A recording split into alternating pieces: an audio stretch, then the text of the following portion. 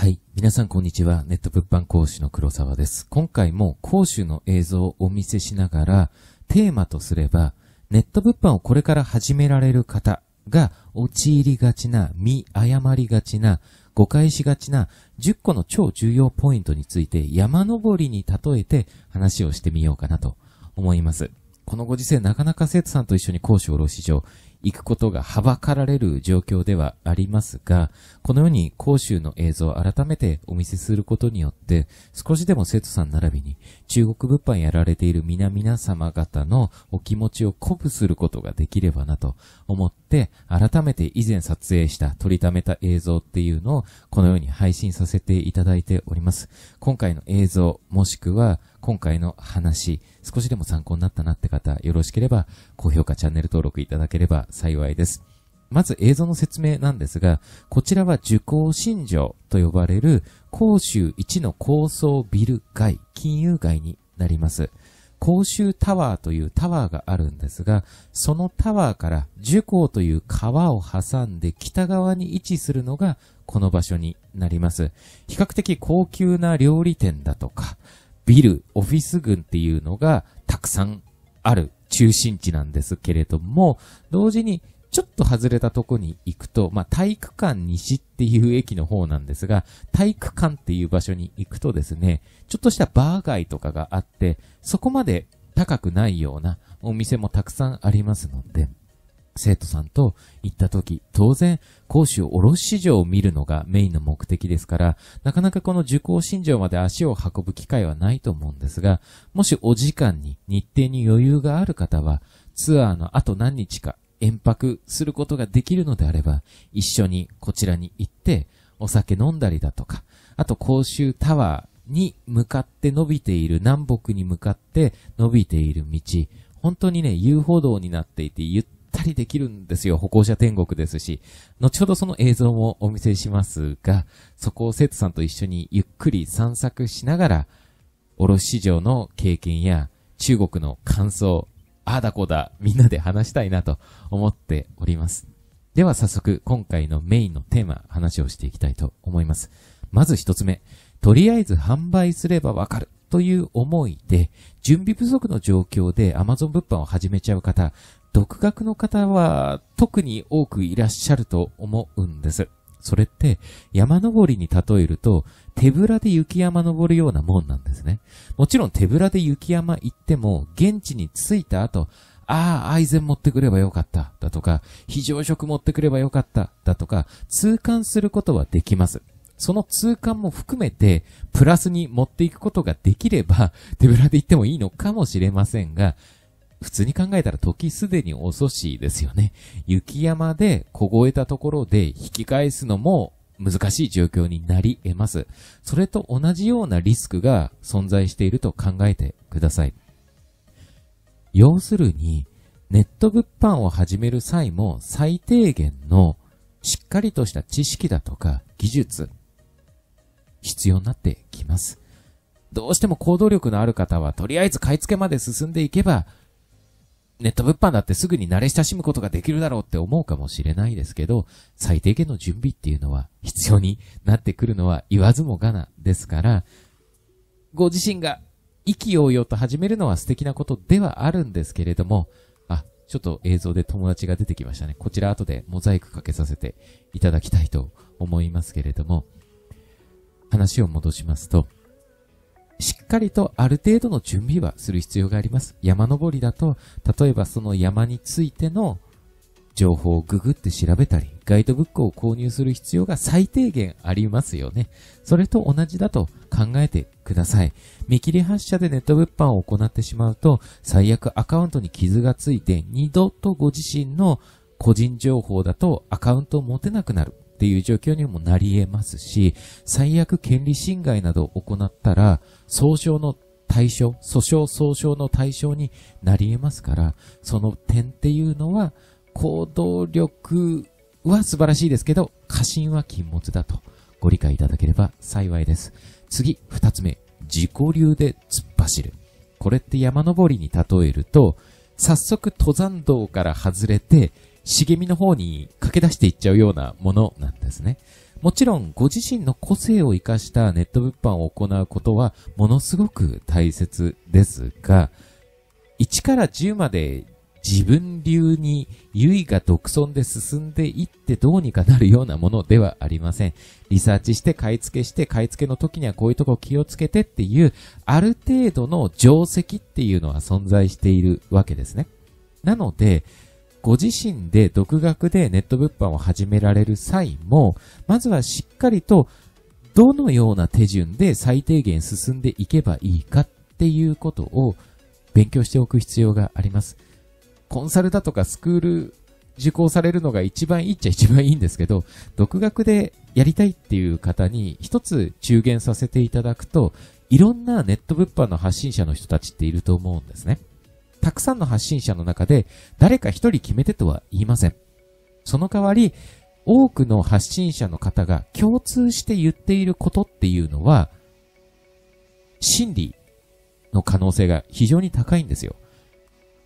ネット物販を始めたらこうやってこうやってこうやってこうやってこういう風に進んでくださいねって、複数人が共通して言っているような内容をご自身でしっかりとメモったりして、この順番で進んでいけばいいんだっていうざっくりとした道しるべをしっかりと事前に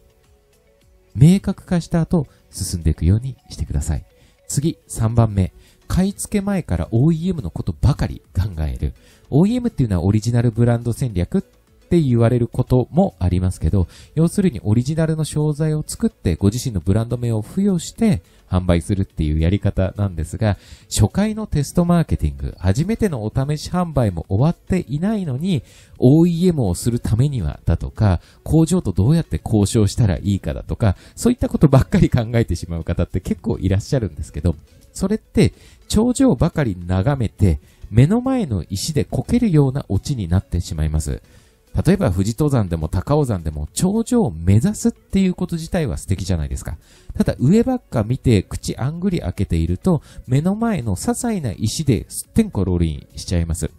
結局のところ、結局のところ目標自体は大切なんですが、進むべき道、一番重要なことは目の前の一歩をどれだけ継続していくかなので、少し目線を落として、あえて落として、今何をやるべきか。今この瞬間、今日何をやるべきか。そういったことっていうのを冷静に考えながら着実に進んでいくように心がけてください。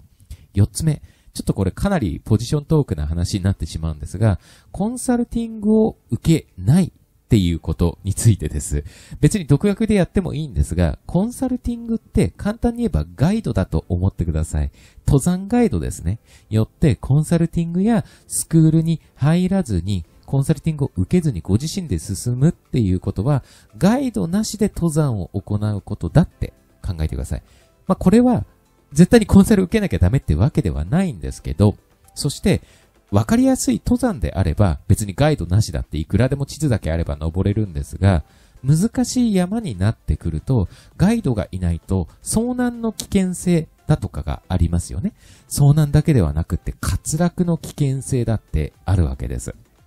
そういったことも勘案すると、ご自身で登りきれるような山なのかっていうことは、しっかりと事前に考える必要がありますね。熟考、考慮する必要があると思うんです。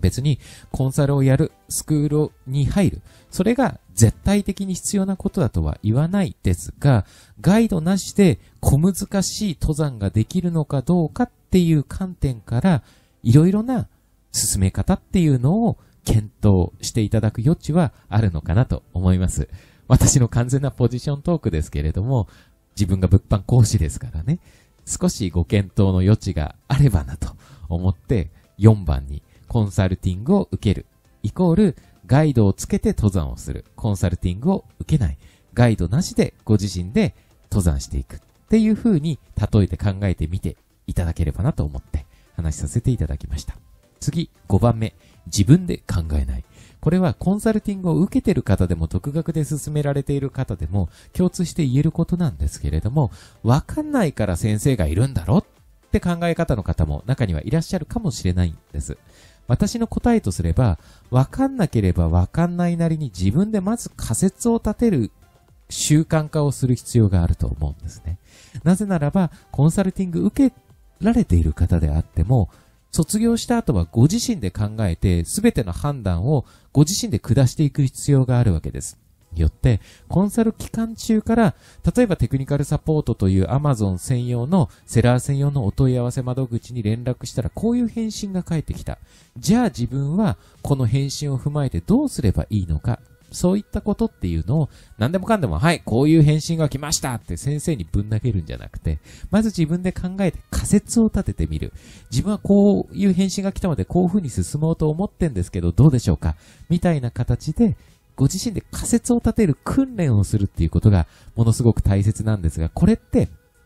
何でもかんでも言われたことしかしない。自分で考えないっていうのは、ガイドに肩車してもらって登山するようなものなんですよ。ガイドは存在してますけども、肩車して山登ったところで、それはその人の実績になるのかと、実力になるのか、その人の筋力、脚力がつくのかって考えると、それは無理な話ですよね。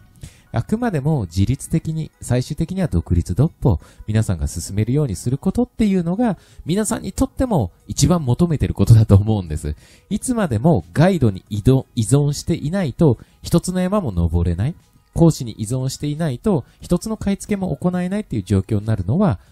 本望ではないと思いますから、自分で考える習慣づけ、さらに言えば、繰り返しになりますが、わからないなりに考えてみて、わからないなりに、こうすればいいんじゃないか、こうじゃないかと仮説を立てる練習をすることが大切です。次、6つ目。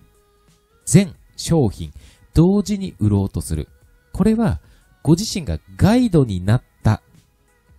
というふうに考えていただければと思うんですが、登山ガイドになったと考えてみていただければと思うんですが、例えば皆さんがガイドになりました。登山ガイドになりました。で、10人の登山参加者の人がいます。その10人みんな疲れちゃっている。なかなか動けなくなっちゃっている。まあ、これはどうしようってなった時に、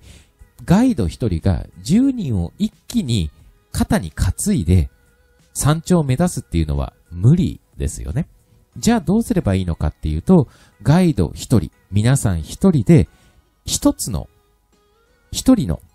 人間、商品であれば1つの商品をまずどうにかこうにか上に上げていく。次、また下って、次の商品、次の商品、みたいな形でですね、一つ一つ上昇させていく。登山であれば、一人一人、まあ、レスキューしていくと言いますかね。それが大切になってくるんですよ。ここね、かなり見誤る方多いです。買い付けの際に、だいたい私の生徒さんは10商品前後を買い付けますから、その商品を一気に売ろうとしちゃうんですね。その結果、コスト的にも全商品広告をドカーンってかけて、全商品一気に売らないといけないんだっていう変な焦燥感に駆られてしまっても、良い結果ってなかなか得られません。よって、10商品を販売しているということは、10人の登山客、なんなら10人の子供をどうやって山頂に連れて行くかっていう考え方に置き換えてみていただきたいんですね。10人一気に背負って、肩車して、背中に担いで、肩に担いで、登っていくのは無理な場合は、一人ずつ連れていけばいいだけなんですよ。焦らずに、10商品出して、あんまり売れ行きが良くなかった時は、まず、どれか1商品、せめて2、3商品にフォーカスして、それを売れるような状況まで押し上げることに注力することによって、急がば回れで最終的には全部の商品が売れやすい状況になると思います。ぜひこのポイント腹に落としておいていただければ幸いです。次、7つ目。一瞬で実績出ると考える方、かなり多いです。これって往々にしてなぜ起こるかっていうと、登山に例えると、ヘリで目視できる山頂に降り立つことができると考えているようなものなんですね。要するにこれから皆さんは登山をします。あの山に登りますって言われた時に、上を見上げれば山頂が見えますよね。しかしながら、登山っていうのは、一歩一歩地味に地道に登っていった結果、あの山頂に行けるっていうだけじゃないですか。そこを一瞬で到達できるって思うのは、登山をやろうって言ってるのに、ヘリコプターで一気に山頂まで行って山頂に降り立とうとしてるような状況になってしまいます。目標というのは常に可視化することが重要なんですが、可視化できているからといって一瞬でたどり着けるわけではありません。山頂が見えるけれども、山頂いつまで経ってもたどり着かないというか、思ったよりも時間かかってしまうのと同じですよね。よって、目的を持つことは大切です。OEM したいだとかオリジナルブランドを構築したいって思うのは本当に素晴らしいことなんですが、そこまでの道のりっていうのは登山道を歩くように地味で地道なものですから、目視できるからといって、ヘリだとか瞬間移動だとか、ワープだとかで一瞬でたどり着ける場所だとは思わないようにするっていうことが大切なポイントになります。次、8番。プライドや過信を捨てきれない。これって、登山をする際に、自分が上にだけ上がっていけばどうにかなるって思っている状況に似ています。山を登るっていう言い方はしますけど、結局、下りの道もたくさんあるわけじゃないですか。登って登って下って登って下って下って登って登ってっていう形で登山は行われますよね。それと同じで、ネット物販を始める瞬間の段階で、皆さんは今までの人生のある頂にすでにいらっしゃるわけですよ。しかしながら、一つの山の頂からもっと高い山の頂に移動する際には、必ず加工が必要になってきます。そしてこの降りるっていうのが、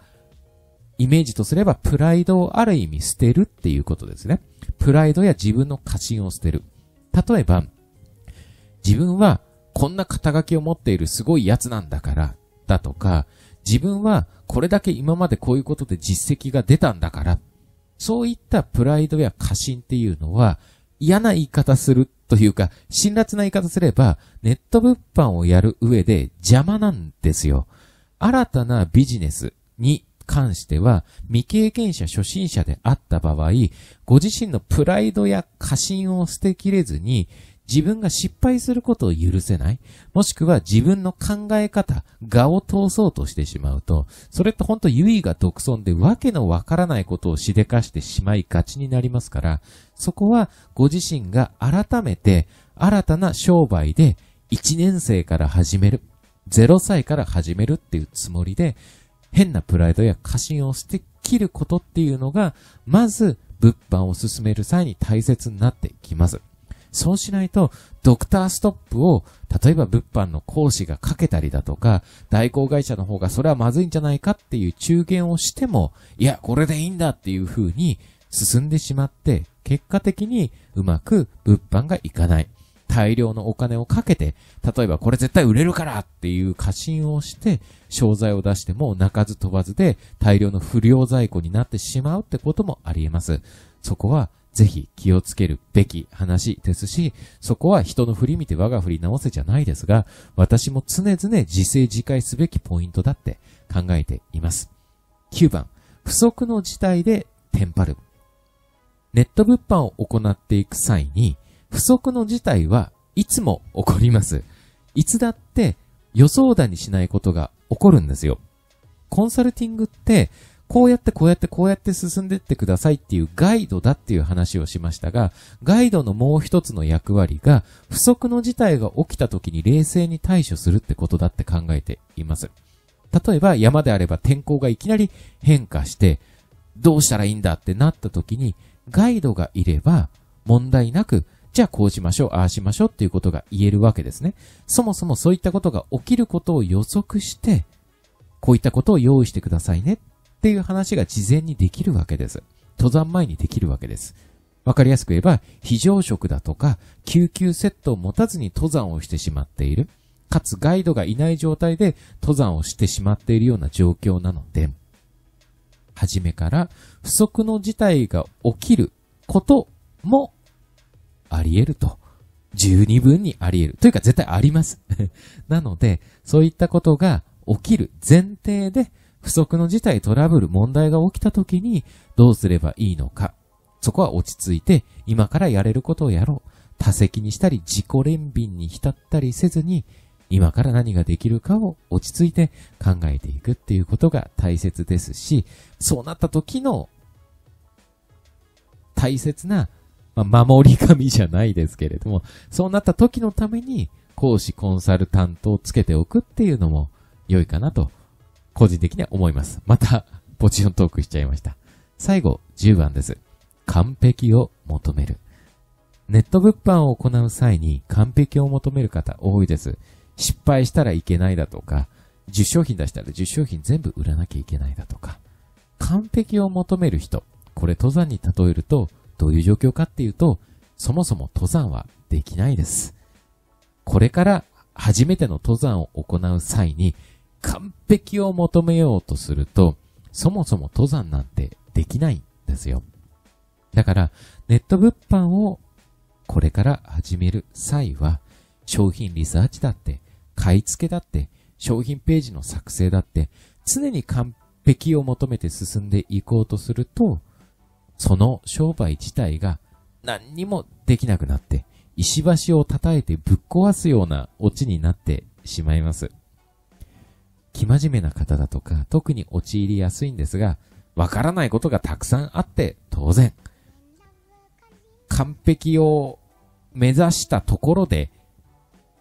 たくさんの経験を積んでいった上で、徐々に徐々に修正改善していって、少しずつ成長していくのが当然。そこら辺っていうのは、一番最初一番に、とりあえず販売すればわかるっていう気持ちで、あまりにも準備不足で、